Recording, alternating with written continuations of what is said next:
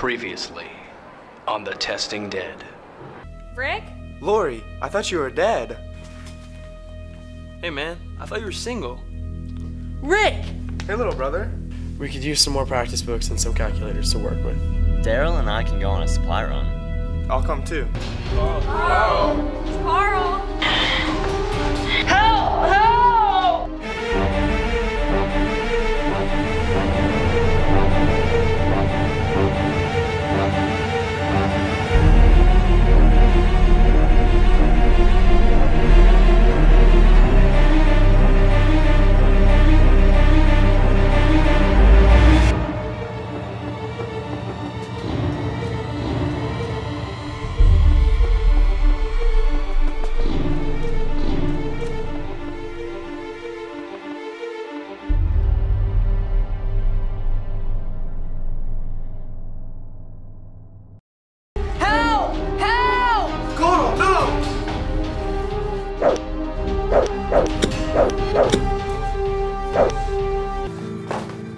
Oh my!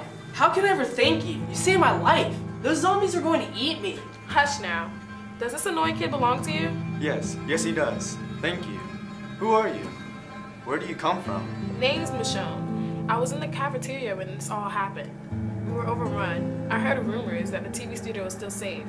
And apparently it isn't. It would look that way, wouldn't it? Herschel here has found a way to end this. We were just about to go on a supply run. We could use a person like you. Supply run? I can do that. On the way, you can fill me in on the plan. Hold up. Let me get some insurance.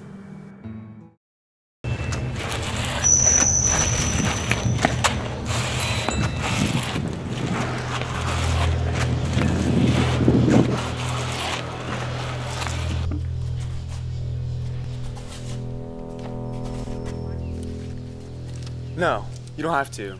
They don't notice us because of our friends on leashes there. Seems like they make us smell like failures.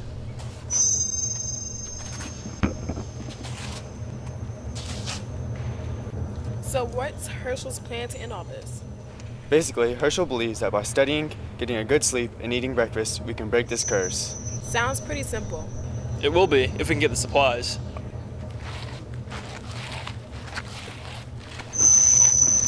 Hey guys, can you help me with my algebra homework?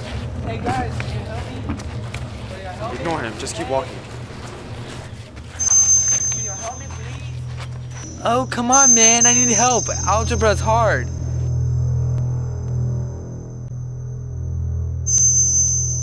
The supplies are in Guidance-Berry, but there's a problem. It's run by the hall monitor. Hall monitor? Yes, after the failing took over, he went crazy with power. Holds himself up into the guidance department. Has made it into a home for himself. A home he's very protective of. He calls it Guidance-Berry. We're just gonna have to learn how to share.